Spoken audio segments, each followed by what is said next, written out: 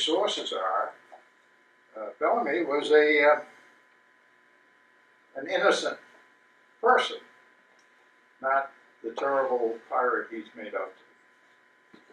Uh, pirates. Oh, good morning for those who don't know me. My name is Bob Sheehan, and there's a, a number of books uh, out on this.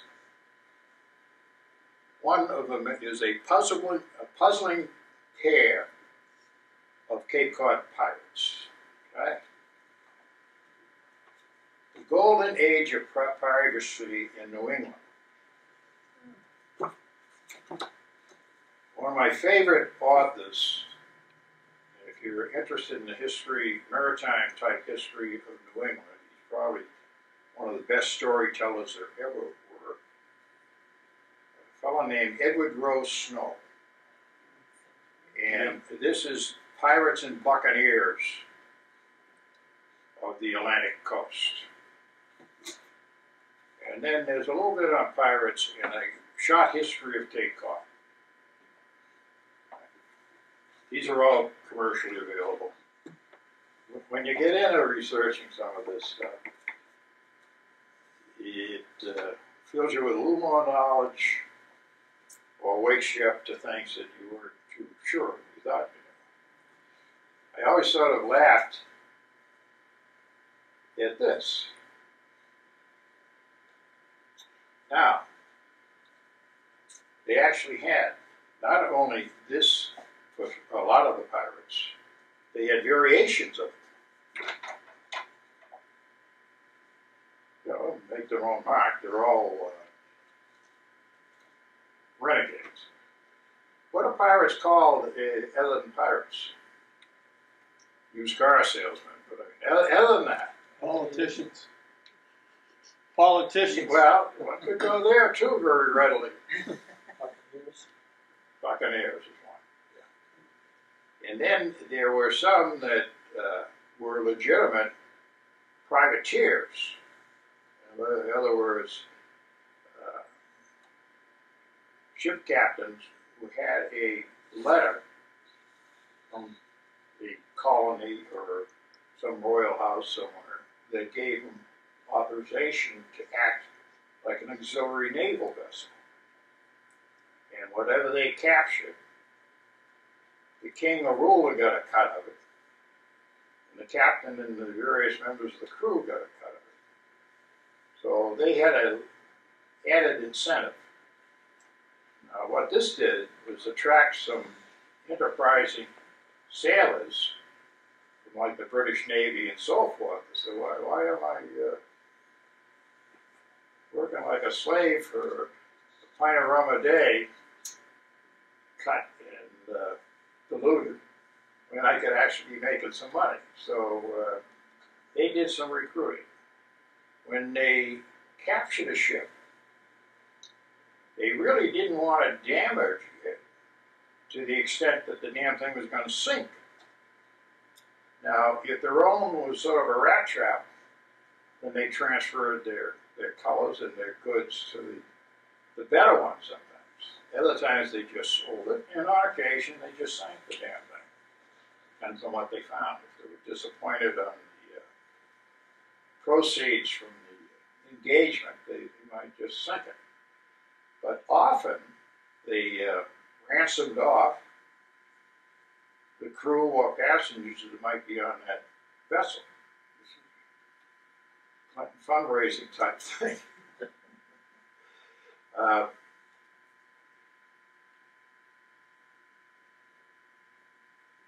a lot of them were privateers.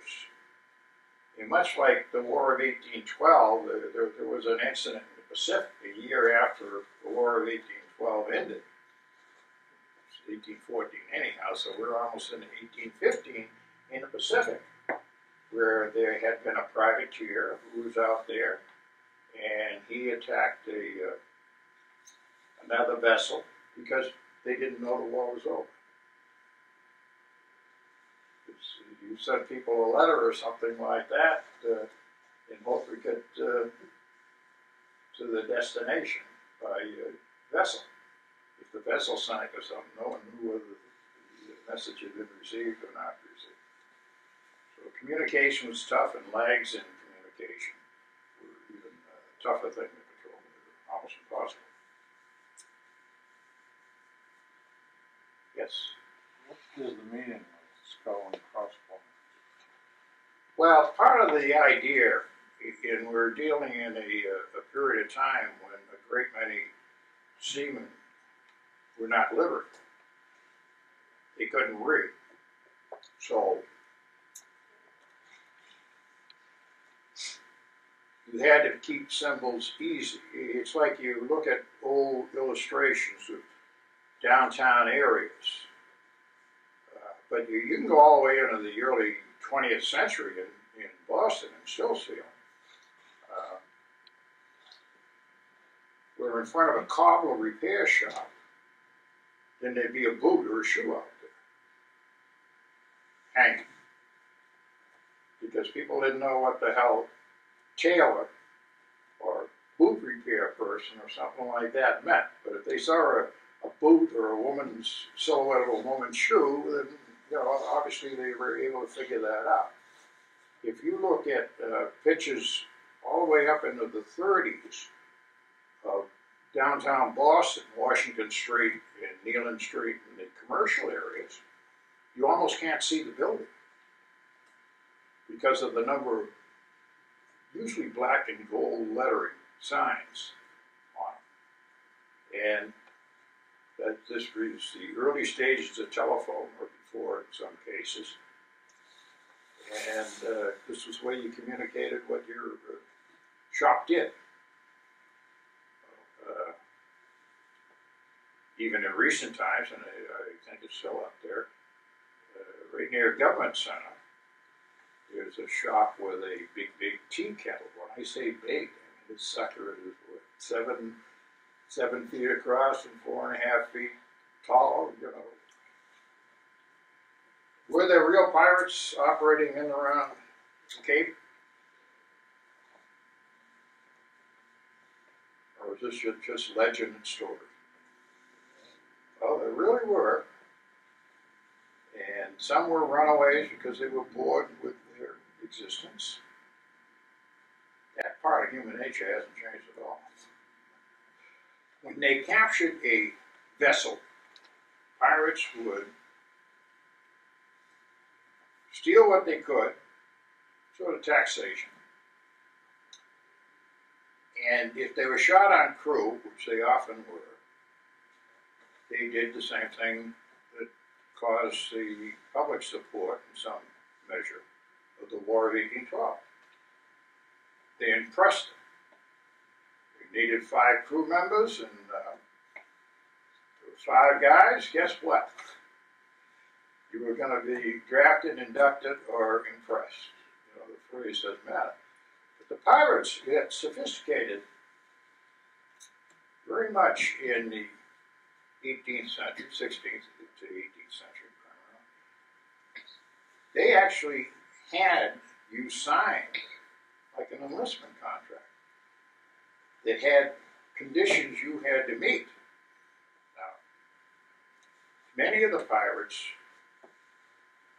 were adventurous. They were restless human beings, much as we have today.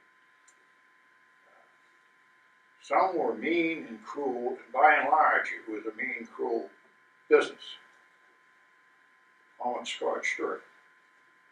But I repeat, you didn't want to harm the ship or the cargo very much because that was the potential profit. Now, the profit may have been in gold or silver or things we normally think of. But remember, uh, bolts of cloth and stuff like that were as valuable as uh, silver. You know, you had a bolt of uh, silk spun clothing or material to be made into clothing. Uh, that that was real good money. But of course, you had to bring that someplace where there was a merchant who could buy it from you and in turn sell it because he had a market. You couldn't take it down to Farmer Jones because he probably had a dollar a year in cash. Everything else was barter or trade. Some of these people got into the privateer business under a marque, letter marque, uh, allowing them to act as naval forces. And some stayed in the business. You know, the emergency ended or something like that, or treaty was signed. What do they do now? You know, they have the ship and the crew, and uh, was nothing cheap in those days about running a boat. Anyone who's owned a boat understands. Uh, now, if you ravage the uh, female passengers on a vessel that you attacked at sea, you could be devaluating the financial aspects of selling her. Uh, you know, dealing with piracy, they, they normally talk about ransom. A lot of it was a question of slavery. I mean, uh, you sold these people and they were indentured servants, an earlier form of slavery. The pirates, when they got these people for ransom, uh, they had to factor in if we don't take care of this cargo, it's going to be worth less. That was true on slave ships. You know, there was a breaking point between uh, controlling these, and there were rebellions on slave ships that aren't particularly talked about. I don't know why. Uh, it was dangerous because when you uh, went in to pick up a cargo of slaves, the real hustlers realized you're not going to go in the jungle. So there were commercial groupings, shall we call them, uh, who went in, stole the population from another tribe, brought them to the coast in the, the bartering house, and uh, then would take the people who had gone into the jungle to get them and add them to it because if they had 20 people that went into the jungle and came out with 100, well, if you take the people who captured the, the slaves from another tribe and added them, well, you had a 20% extra profit there. And that was done all the time. So uh, it, uh, it was a cutthroat business in the true sense of the word. On pirates,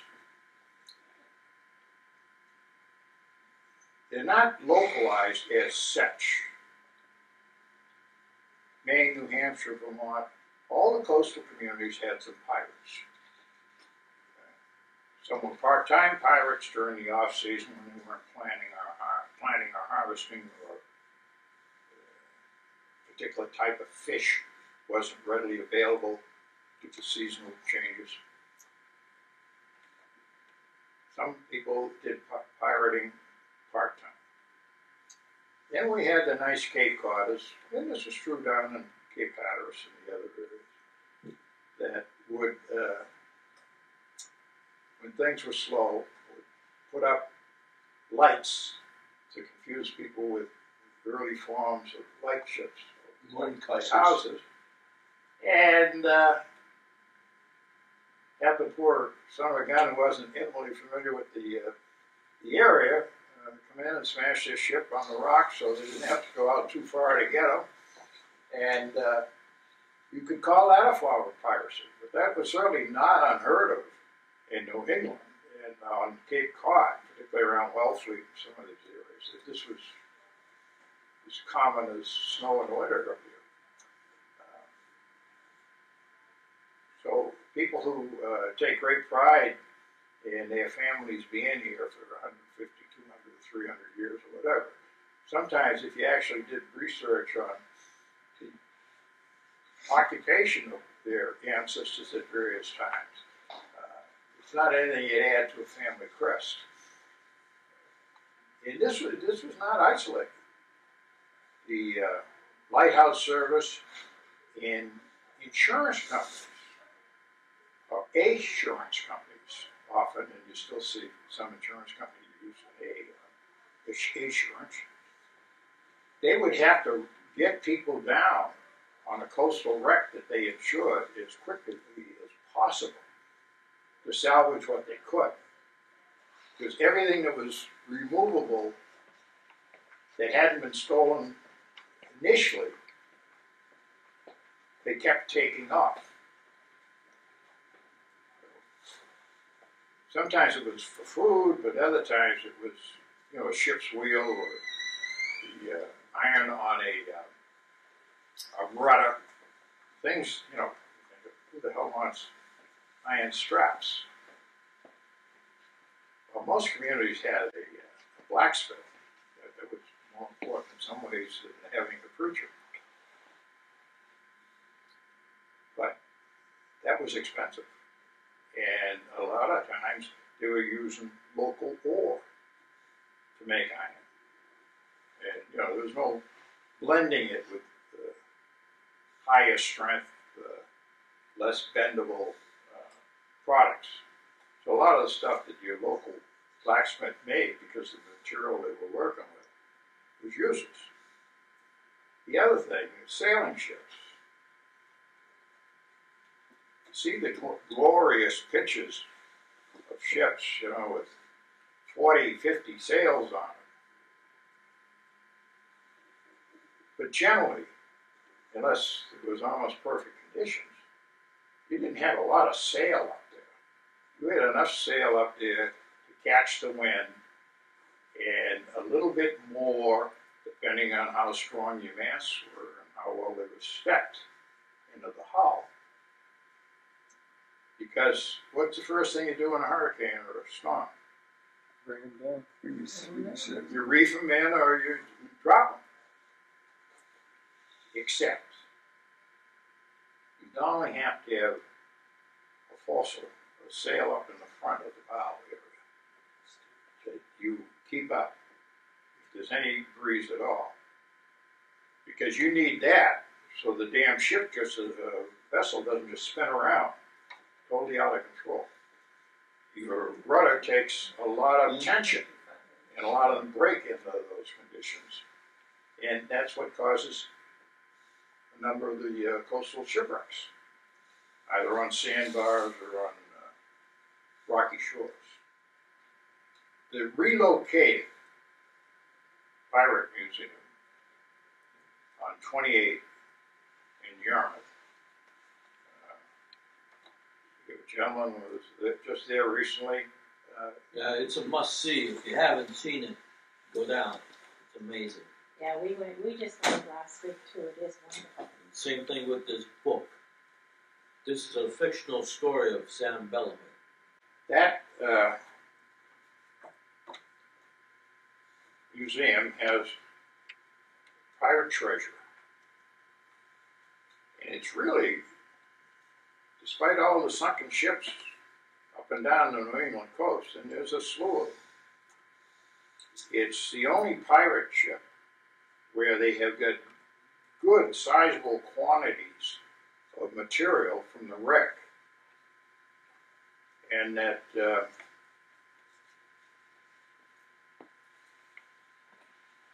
is on public display. I mean, there there are items from shipwreck ships, pirate you know and naval, uh, that are in museums and so forth. Uh, the uh, the diver who kept after this, well, one, the Commonwealth has a law, as most states and countries have, limits very, very much what you can take off ships. And uh, it's like conservationists. You get some wonderful, well-intentioned people.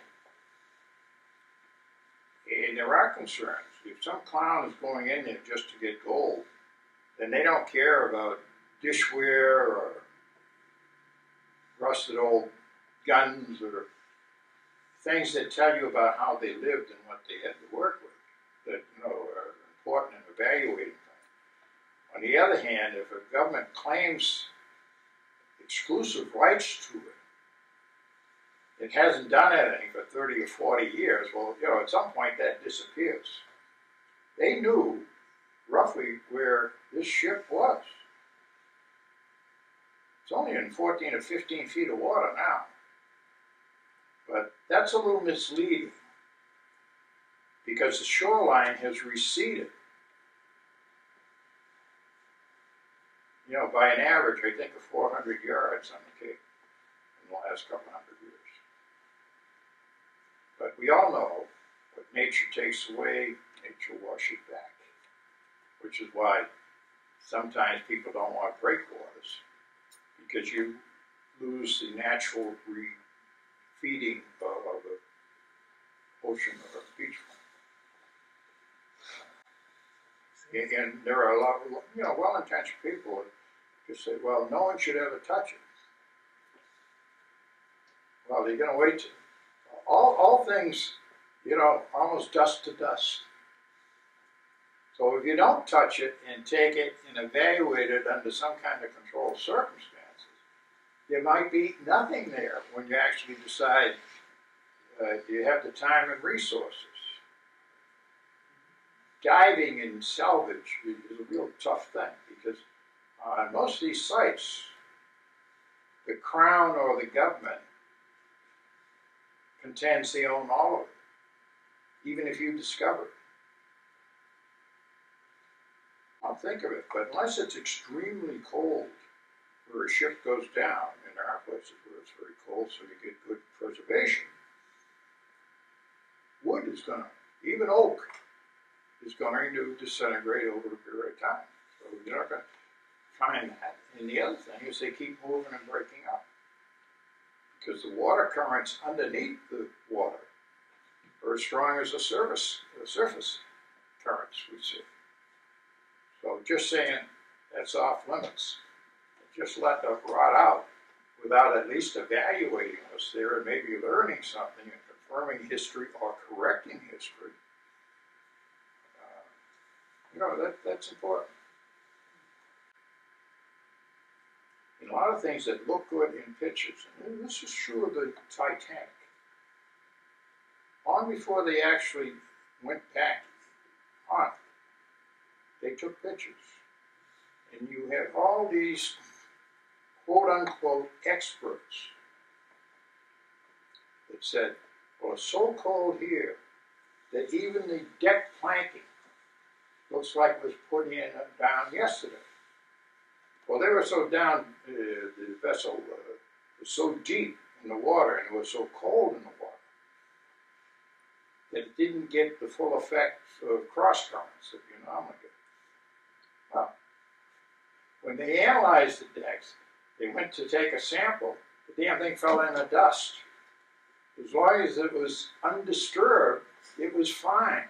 But if you wanted to, you know, see how much strength was left, how much rotted out, how much didn't, what was uh, had a high tendency to rot, uh, it's going to be totally different than what you end up.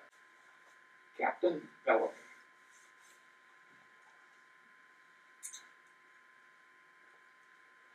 Wrecked at Cape Cod.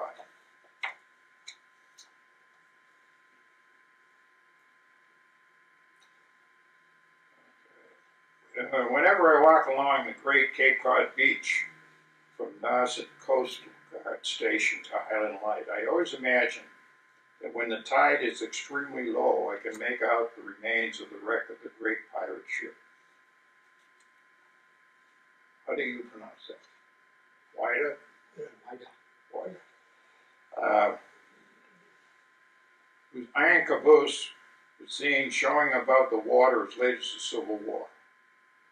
Of course, I know that the wreck has not been above water for over half a century, but it cannot be denied that the old ship, along with Captain Bellamy's treasure of around $100,000 in bullion, is still buried in the shifting sands of Cape Cod.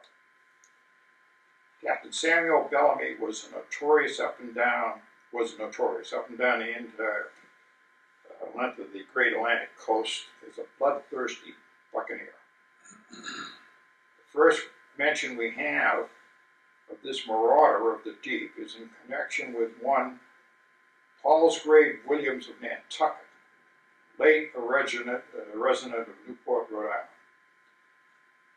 The two men, having heard of the wreck of a Spanish treasure ship in the West Indies, sailed to the location which had been given them. After working many weeks trying to discover the treasure, they could not find a single bag of silver which had gone down with the vessel.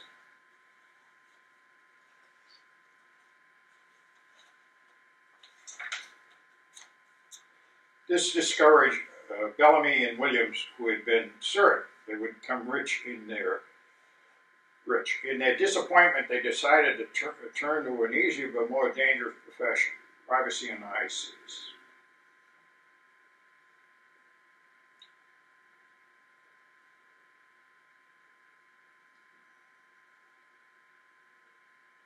They, they, they worked together for a while, uh, but before that, they decided to pool their resources aboard two large sloops with 70 men each per crew. Now, even small vessels in those days, because of the manual handling of sails and the blocks that you needed order to pull them up and drop them or reef them part of the way and things like that, required a lot of manpower. Which is why you impress crew members if you have one sick or dying, and the next worst sucker to sail by was going to be a crew member of yours. The pirates at one point had their own little sub-nation in the Caribbean. But some had served in English Navy, Dutch Navy, French Navy, Spanish Navy. Those are probably the primary power, maritime powers at the time. Pirates had a lot of advanced democratic type ideas. You know, we think of them just as bloodthirsty, bloodletting individuals, but they actually had a form of government. One that said they had the equivalent of an enlistment contract. Uh, they had disability benefits.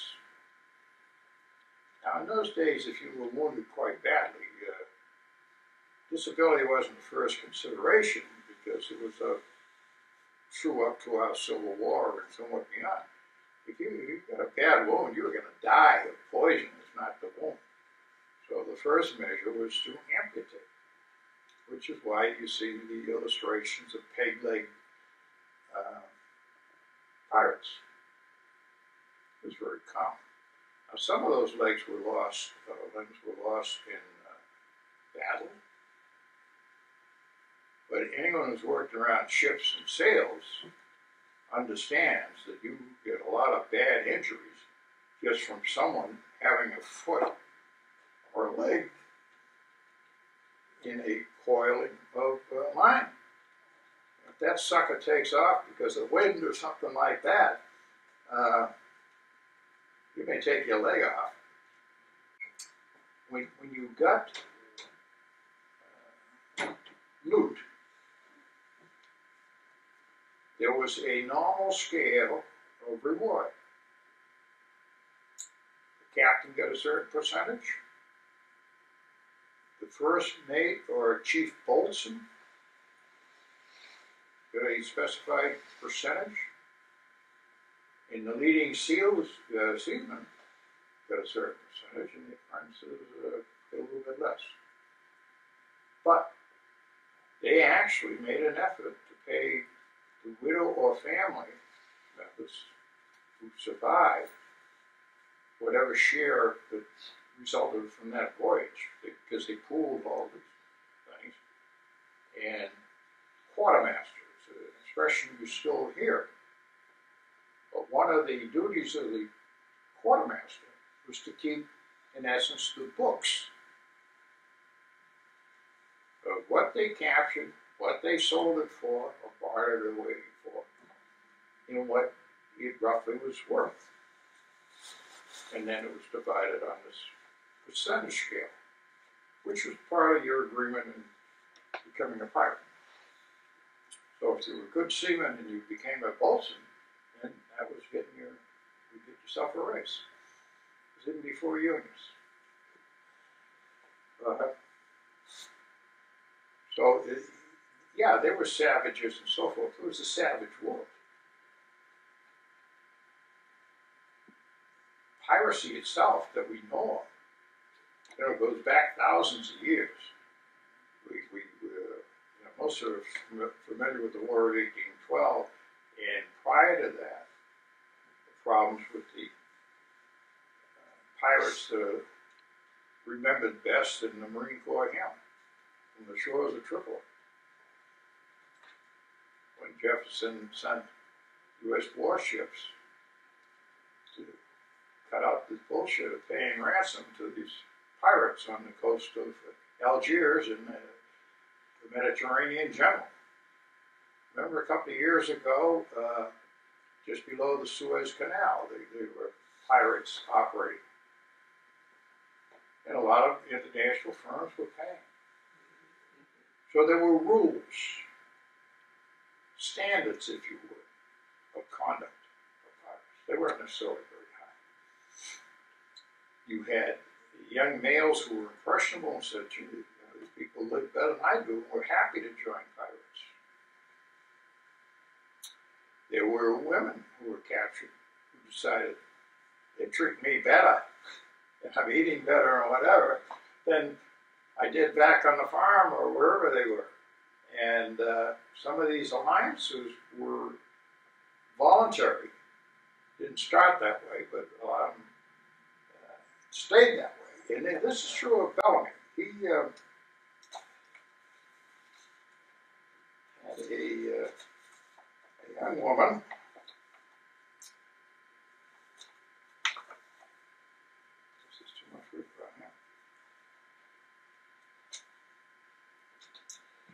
On a farm, uh,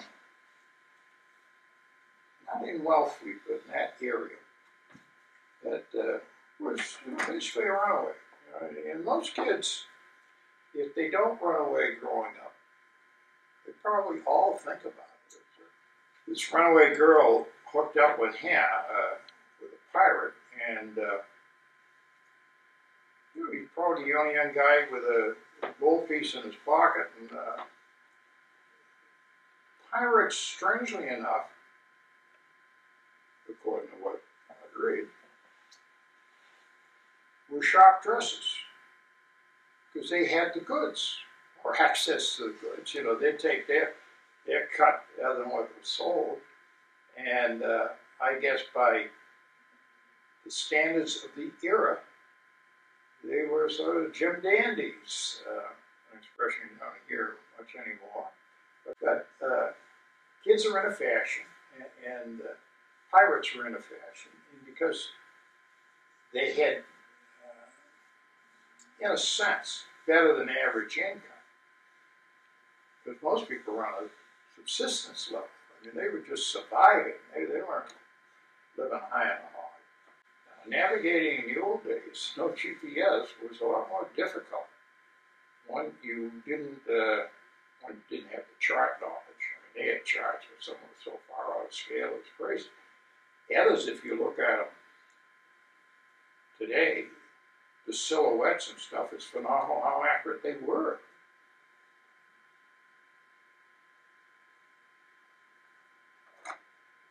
Reasons for taking a ship in an area you were new to because they may have some charts that help you.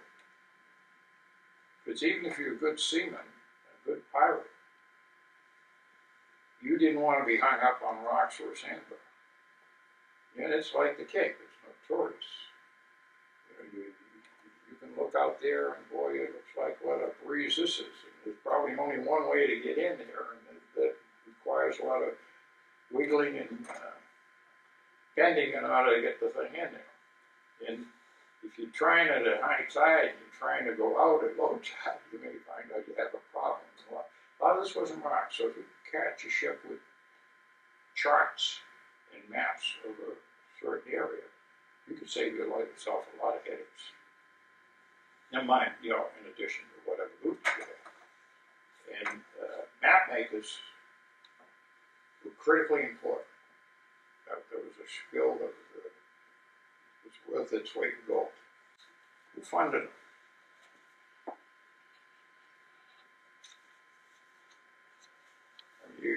you don't take a, you know, two hundred foot ship and equip it and go off uh, without someone putting up some money. Now, in New England, most ships were built wherever they operated on. Believe it or not, the Mystic River in Medford, for those who might be familiar with it, they had a big shipbuilding industry. You had a tall, straight tree that you owned in New England. Or Virginia, Maryland, doesn't matter. The king had a representative around. And if that was oak or Georgia pine or certain species that were known to be good for mass, that was the king's property.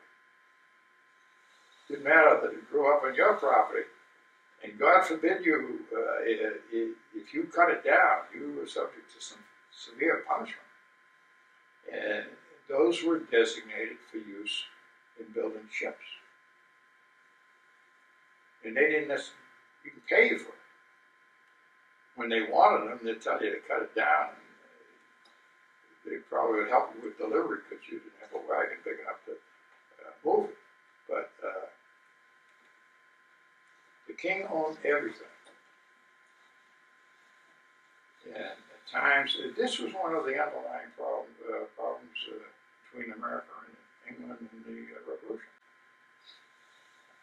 This was hard.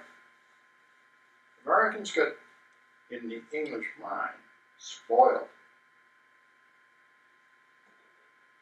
Because we had a form of town meeting and uh, provincial government. The king appointed the, uh, the top guy under various titles whether it was governor, governor was not an unusual one, but it wasn't one. Uh, everything that grew, or even people, uh, they, they were their property. They, they took the cream of the crop and uh, left you the rest. So people saying, the hell with this, I just as soon serve under a pirate that I'm going to get 10% of the loot or get some proportionate share. That didn't sound as crazy to them as it might to us. Oyster River, 1694, was the uh, latest at that time of a number of similar attacks.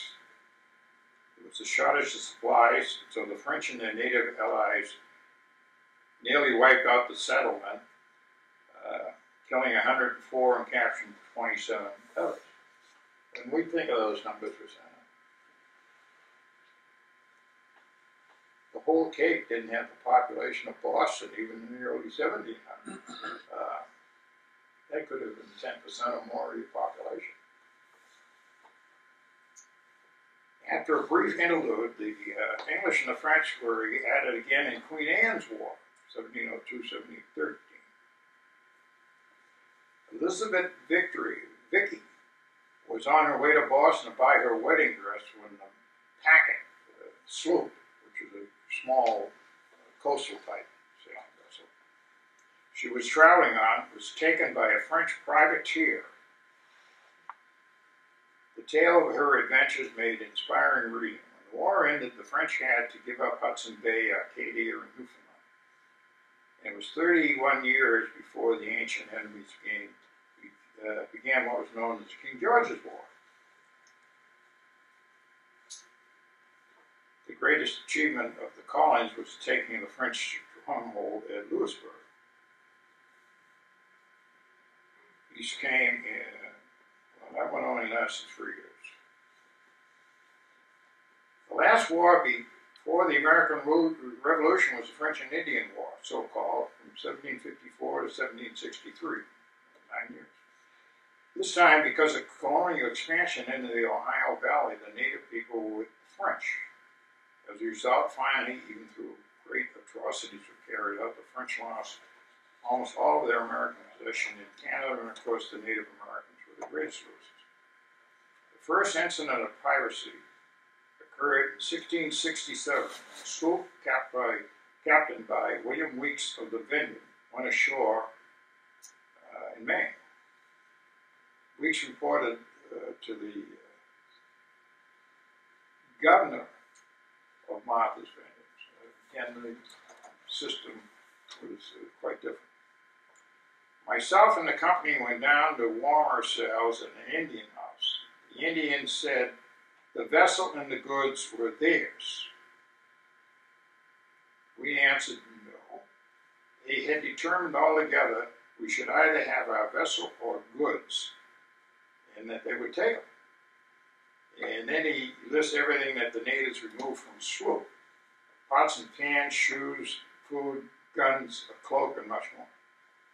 And the authorities who had been wavering as to enforcing anything because they didn't want the Indians scalping them at night, uh, uh, it was a little awkward.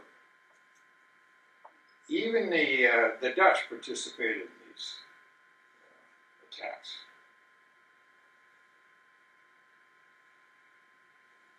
Even the Dutch participated in these uh, attacks. One captain ran in a tarpaulin row, cove and captured four ketches uh, in retaliation for the loss of his vessel. When he landed with them in New York, answered them then, uh, the authorities confiscated the ketches and returned them to the owner because they didn't want to get involved in the, the land law he was trying to make up for stolen ships. As the colonies up and down the coast developed, a growing active maritime trade, uh, grew up. And also did the attractions of piracy, for both ships and cargoes were growing larger and more profitable. In fact, by the 1680s, there were many pirates operating in these waters as, as there were in the West Indies. As a partial solution, the British approved issuance by colonial governors and others of letters of marque, allowing privately owned ships to arm and capture enemy shipping, to be rewarded by a share of the value of the ships and cargo. Combine them with pirates and making, and making a living at sea became quite hazardous. Of course, the French too had their privateers. Uh, favorite uh, strategic spot was uh, Tarpaulin Cove. It was a good inn and a private lighthouse and a lookout on higher ground that had a 15 mile range in either direction. In 1689, Thomas Hawkins and Thomas Pound decided that piracy would be very profitable and so launched a short and busy career in these waters. Another example is the case of French privateer in 1604 on 7, 7 September. Word of a French vessel in Vineyard Sound came to Providence, Rhode Island.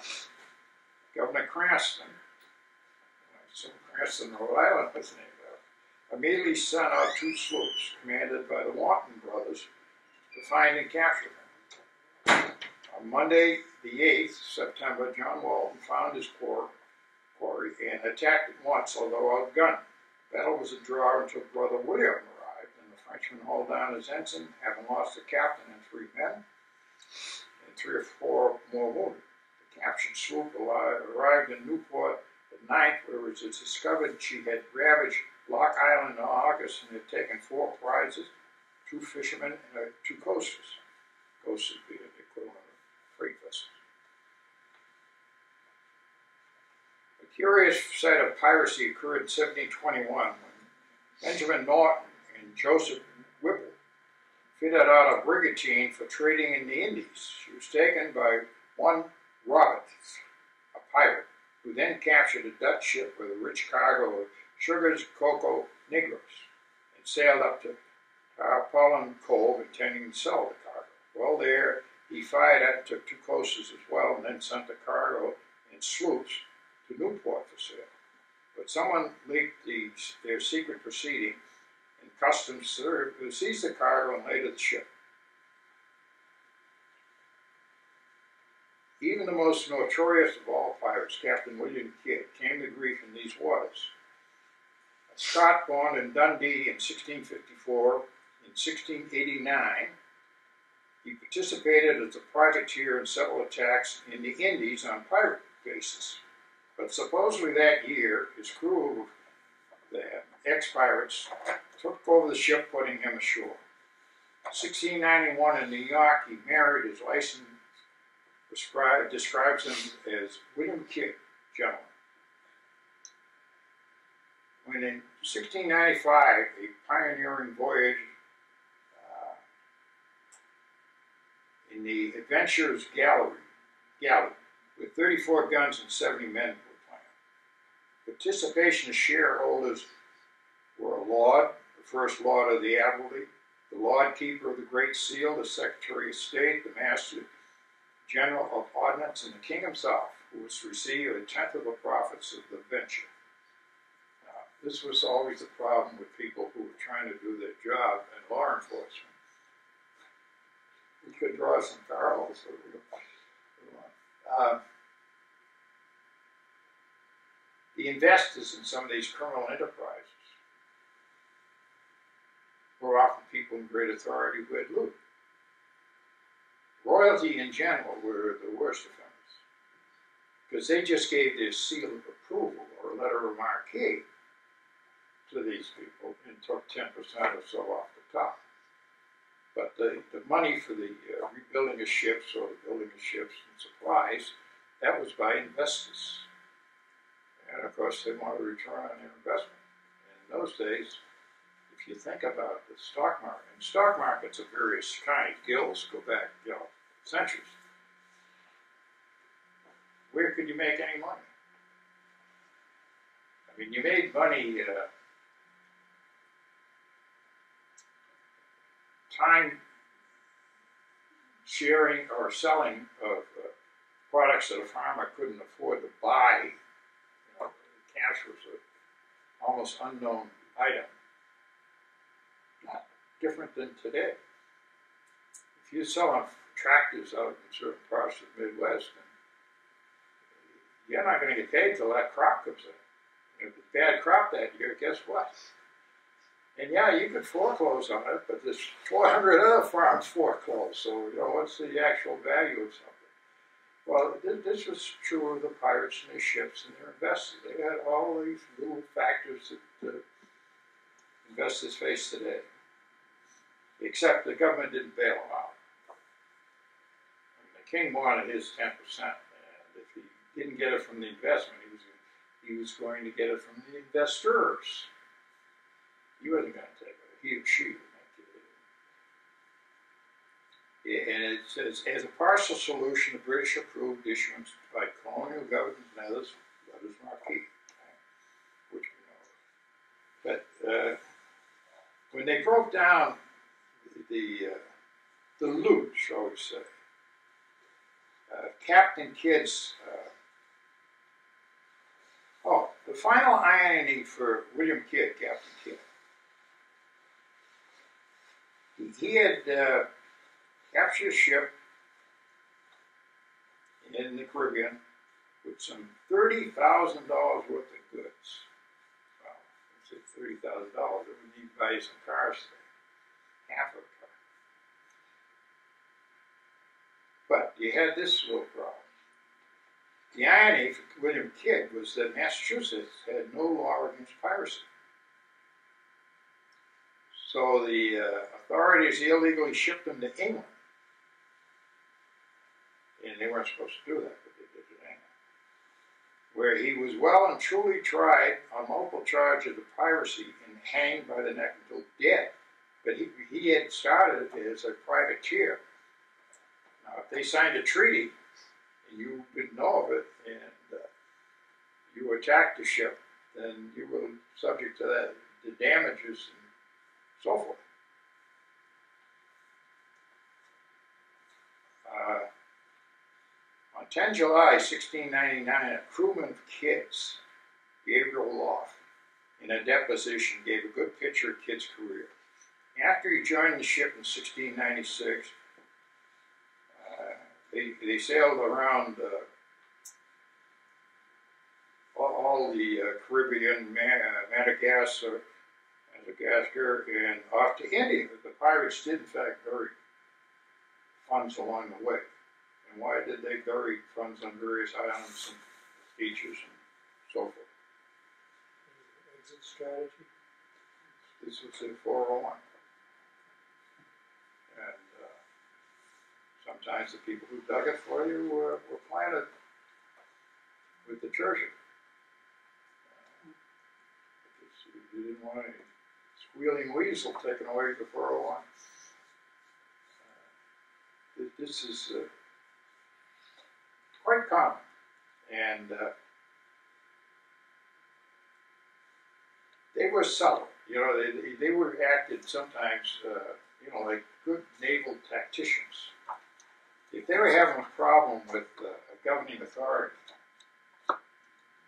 then they'd take a couple of ships, vessels they captured, sink them on the sandbars, and then patrol a smaller opening, and just sort of blockade the damn place. Well, a lot of times you're surprised with what you're eating, and you didn't have preservation of any uh, great uh, deficiency. So uh, you didn't necessarily have to loot and burn the town to get uh, cooperation from a, a port. If you sealed off the damn port and you didn't allow anyone to come in, and you probably took that loot that was going to be delivered, uh, it was like uh, building a blockade around a castle or someplace like that. Uh, In that way, of course, you, you got more loot when you went ashore and was undamaged, so that, that was uh, highly desirable. But uh, one of the uh, big problems with Bellamy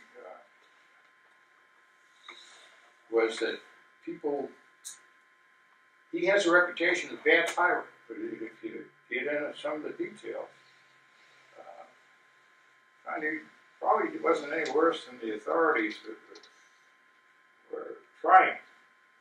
Now, in Boston, periodically, they'd take pirates and they'd take them out to hang. They usually put them out in the island, you know, one of the harbor islands. If you're a real bad actor, put you in an iron cage and let you die, you know, being pecked alive by birds. Uh, a little unsanitary. Had to stink, like that. But they put these in uh, the equivalent of channels, you know, where there were vessels going by to remind sailors uh, may not be the best occupation to pursue because you'll end up like this. Now, some they actually took back to Britain and hung them uh, over, over the Thames River and places like that as uh, a list. So, you know, it was a very international movement.